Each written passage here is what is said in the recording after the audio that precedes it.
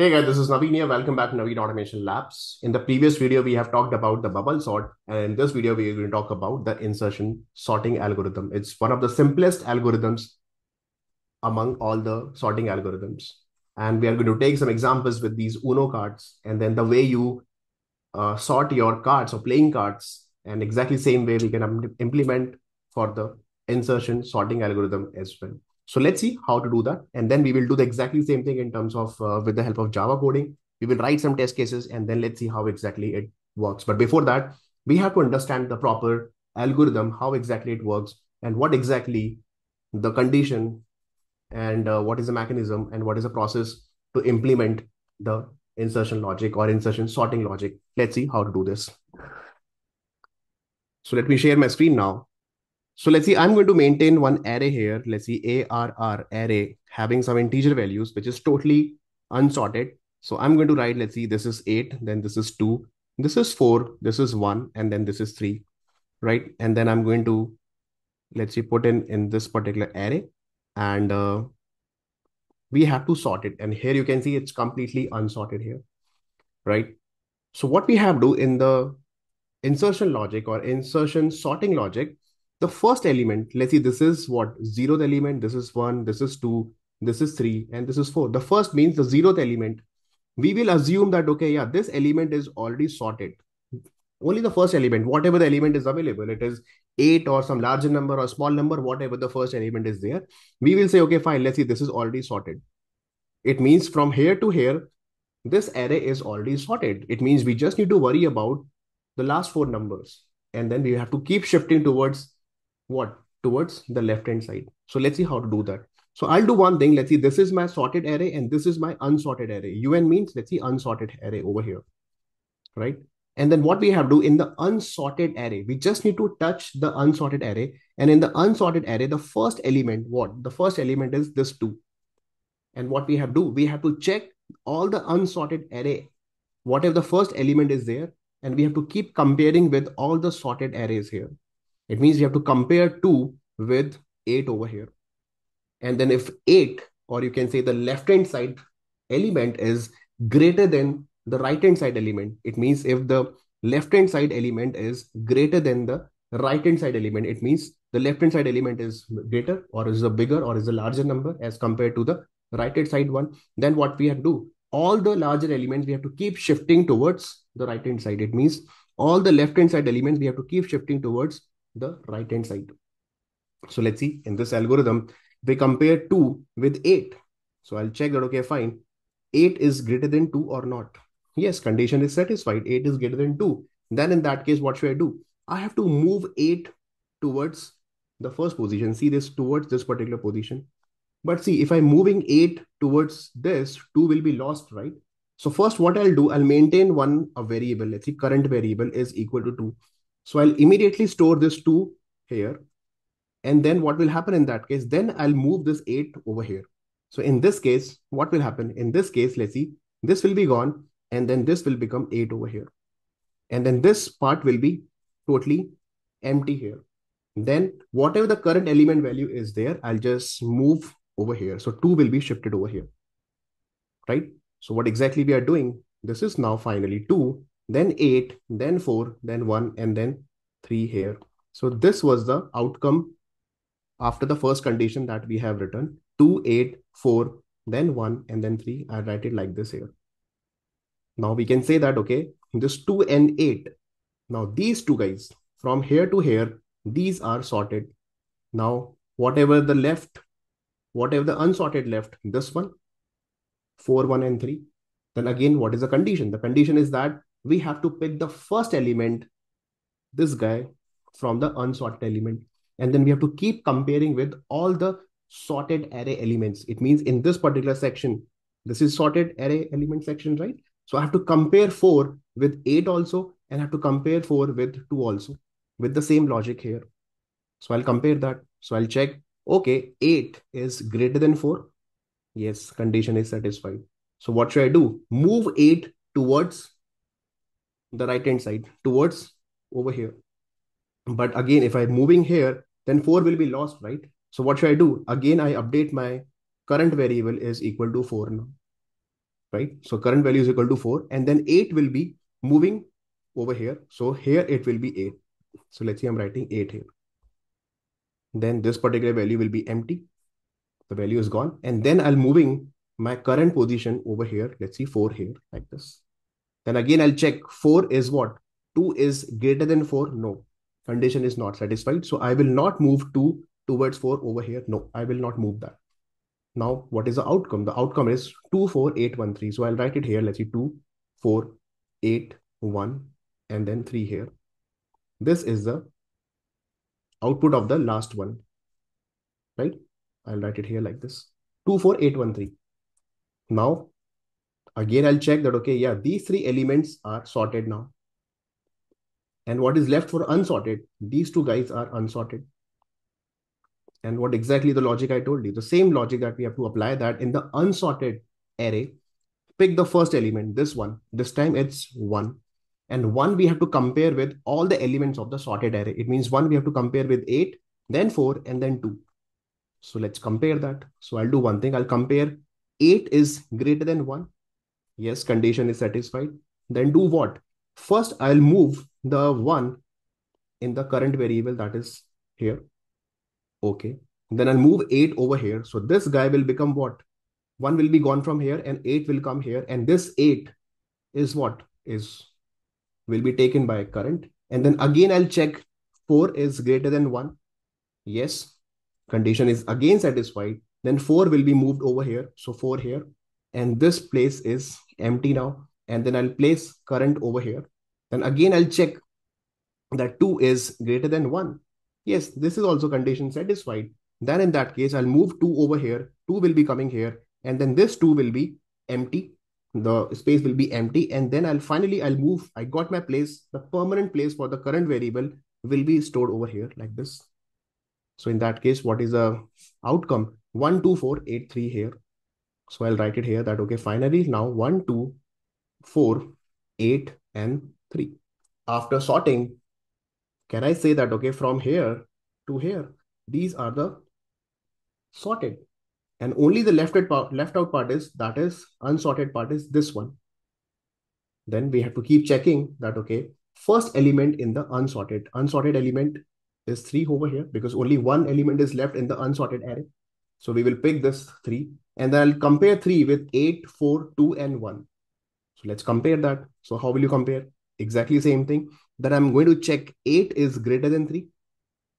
Yes, condition is satisfied. So what should I do? First, I'll update my current is equal to 3. Otherwise, because when I move 8 towards this position, then 3 will be lost, right? So better I'll just take a backup here, current equal to 3, and then this 3 will be gone, 8 will be stored here, and this 8 will be gone, right? After moving it here. So what will happen? Right now, the temporary position for current is equal to 3. Let's see, I'm just writing it here for our reference. Then again, I'll check, it will check 4 and 3. So I'll check 4 is greater than 3. Yes, condition is satisfied. It means move 4 over here. So 4 will be coming here. And then what? What is the next position for the current? The next position for current is 3 over here instead of this. Right? And then again, it will check that 2 is greater than 3. No, it is not greater than 3. So what is the permanent position for the current variable? The permanent position for the current variable is over here. Let's see, this is 3. And that's it. After that, do I need to proceed further? No. So we have to keep proceeding further, keep checking this condition until the left-hand side element is greater than the right-hand side element. That's what. Now we check that, okay, yeah, 2 is greater than 3. No. Then no need to proceed further. And then finally, what we exactly we have found? Then we have found that, okay, 1, then 2, then 3, then 4, and then 8 here like this. And this is what? This is a complete sorted array. So we started from there, 28413. From here, we started. This is unsorted. And then finally, we are getting sorted array here. And if I talk about the time complexity for this, so let's talk about in the worst case, the time complexity will be what? Because see, we are doing what? First of all, that n number of iterations that we are doing from the second element to the last element and then multiply by how many times that we are changing the position of the current variable n number of times. So in that case, the time complexity will be O n square here. Big O of n square. And same thing if you talk about the average case also. In the average case also, if some elements are not sorted, then it will take O(n) square. But in case of the best case, where all the elements are already sorted, so we just need to iterate it once. So it will give you O of n over here. But if you're talking about the space complexity, so let's see what will be the, the space complexity in this case. Because we just need to maintain this current variable. See, current is equal to 1. Every time the value of current variable is getting changed. So we just need to take one extra space to this particular uh, value for the current variable so that we can take the backup here. Right? So this current variable, let's see, I'm taking one integer and uh, it will take only one space. So I'll say O of 1, the okay, the constant time complexity we will be getting for the space complexity point of view. So the worst case, we will get O(n) square. So when to use this insertion logic, insertion sorting logic, when you have a small array or number of elements are small in that case, or the smaller array, then in that case, I can go with that, but it will be very expensive if you're going with the large amount of data in that particular array or number of elements are uh, let's say 100, 200, 300 elements are there, then you can think about it. Okay, we have to keep checking. And when you reach, let's say up to 100 elements over here, then you have to keep checking with the previous sorted elements. So it will be obviously expensive in that case, but this is a pretty simple logic we can apply for the smaller elements array, right? So remember this thing, but we have a better sorting algorithm like quick sort or heap sort that we will talk about it uh, later. But now let's see, I'll give you one very simple example with this thing as well. So here you can see that uh, these are my cards. So let's see, whenever we playing the cards, right? So these are the cards that we are getting, which is again, so let's see, I'm writing with this 28413 in the same order. So this is 2. I'll write, let's see, 8 and then uh, 4. Then let's see, 1 and 3. Okay. So let's say somebody has given me this card and then I'll take the card and then I'll see that, okay, yeah, this is not uh, sorted, right? So how exactly you are going to sort this? The same way the first element or you can say let's see the first element in our case it was 8 then i'll say let's see this is 4 or anything that you can take it. Let's see like this. So first element 8 i assume that okay this is already sorted here. Okay so i'll just keep it like this. This is already sorted 8 1 this one then i'll check these are the unsorted element in the unsorted element i'll pick the first guy okay let's pick this one the fourth one this one, and then I'll just compare. If 8 is greater than 4, I'll move towards the larger element towards over here, towards the right-hand side. Then in that case, I got these two elements are the sorted elements. Then in the unsorted array, again, I'll pick the first one, this one, 2, and then I'll compare 2 with 8. So first I'll check 8 is greater than 2. Yes. So I'll shift 8 over here like this. So now this is the current position. Then I'll check 4 with 2. 4 is again greater than 2. Then again, I'll shift 4 after this over here. So what is the current position? 2, then 4, then 8 over here. It means these three elements are the sorted elements. Then how many elements are left in the unsorted? 1 and 3.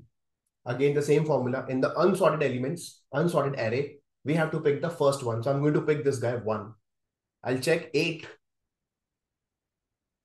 8 and 1. 8 is greater than 1, move the larger element towards the right hand side. Again, check 4 and 1, larger element towards right hand side after 1. Once again, 2 and 1, larger element are shifting over here like this. So what is the final outcome? 1, then 2, then 4, then 8 over here. It means these four guys or four cards are sorted elements, right? Here. Now, what is the unsorted? Only three is left. This part, this three is left. Again, I'll check. This is the first element. I'll check that. With 8. 8 is greater than 3? Yes. Shift here. 4 is greater than 3? Yes. So again, 4, you shift over here after 3, right hand side shifting. And then again after that, 2 is greater than 3? No. 1 is greater than 3? No. That's it. Now you can see sorted 1, 2, 3, 4, and 8 you can check it here like this. So same logic that I have applied here as well, and exactly same thing you have applied here over here. So now let's see, I'm going to write the code with the insertion sorting algorithm. Let's see how exactly work, and then we will see a couple of test cases over there as well. One method that I have written for the insertion sorting algorithm, and uh, this is the array that I'm passing to this particular method, and then let's see. So I'll do one thing that first of all that I'm going to write one simple for loop here where integer, let's see, i is equal to, I'm going to start from one actually, because the first element that I have to ignore, right? We have to always start from the second element. It means I'm going to start i is equal to one means from here we have to start, from here we have to start like this. So I'm saying, okay, up to what? i less than ar r dot length over here. Dot length and then after that i plus plus. Okay. Then i'm going to take one current variable also. Let's see which is a current variable which is what? That is the first element. That is what we have. Then current is equal to array of i. Then uh, i'll do one thing that i'm going to take another variable let's say integer j which is equal to what? Which is equal to i minus 1 so j is representing the left hand side element. And then i'm going to write a while loop. I can put a condition that up to where that you have to write the loop. So i'm just going to write that j is greater than or equal to 0 and then i'm going to write that uh, if j is greater than equal to 0 and then i'm going to write that and and what? Then we have to compare what? We have to compare that left hand side element should be greater than right hand side element it means if 8 is greater than 4 so what will you write here that i'm going to write this array of what the array of j is greater than the current element here right? So array of j is what? So if you see this array of j means j is equal to what? i minus 1. i minus 1 means 1 minus 1 is equal to 0. So on 0 position, 8 is available. So I'm checking 8 is greater than 4. Current is 4. Yes, because i is equal to 1. 1 is what? 4 over here. So yes, 8 is greater than 4. It means now the condition is satisfied. Then in that case, what should I do? If 8 is greater than 4, move 8 towards right hand side. It means I'm going to write that array of what? the array of j plus 1, which is equal to what array of j here, j by 1 also here like this. Okay, and once this is uh, done, what should I do in that case after that? Then we have to store, because when 8 is moving towards 4, or towards the right hand side, then we have to shift 4, right? Because 4 is available in the current position right now. Then we have to move the current. So where exactly we have to move the current? So I'm writing current should be moved to where? It should be moved to the array of j plus 1 here. So I'm writing array of, or I would say the, the left-hand side, it means j minus 1 over here. Like this, we can use it, right? And then once this entire uh, logic is uh, done, and then let's call it and let's see is it really working or not. So I'm just going to call this, and then after this for loop, and I'm just going to print this particular array that arrays dot to string method and supply ARR here. Or it should be J plus one here because the current should be what the J plus one position means. The J plus one is equal to zero plus one. It means the next position that we have to move, right? Not on the zeroth position because on the zeroth element, element is already available. So now let's run it and let's see. So I'm going to run it. And here you can see one, two, three, four, eight. Yes, absolutely working fine. Then let's say I'm just going to pass only one element. Let's say I'm passing only eight it should give you 8 only. So one single element also, this is fine. 8 is fine. Then I'm giving, okay, 8, 9, 0, and then 1, and then 99. Let's see, is it really sorting or not? So yes, 0, 1, 8, 9, 9, 99. That's fine. Let's say I'm giving some duplicate numbers, 8, 9, and then 0 once again. And then let's see, it should sort once again. Yes, with 0, 0, 1, 8, 9, 9, that is also working fine here. Let's say I'm giving some negative number, minus, uh, 1 and then let's see some larger number also along with that. So let's see the doing the insertion sorting here. Yes so minus 1 0 0 1 8 8 9 9 double 9 8 9 9 it's absolutely working here. So this is a simple logic that also you can write it. See writing the code is not a big deal. You have to understand that the algorithm how exactly it is working what is the mechanism what is the process to perform the insertion sort here so First, at the time of interview, you explain on the whiteboard, explain on with the pen and paper that, okay, yeah, this is the logic that we have to write, the way we have used in the this one. So you have to just show this, uh, all the combinations here, all the iterations here, and then you perform writing the code there. Then I'm pretty much sure you can easily write the code with this particular logic. So that's all for this particular video, guys. I hope you liked it. And then uh, let me know in case of any issues. And we are going to talk about other sorting algorithms also in the upcoming chapters. And then we will exactly same practice with the whiteboard and the coding practice. We will do that. I hope you like this DSA series. Share with others. Let me know in case of any issues. I'll see you in the next video. Till then, take care and God bless you all.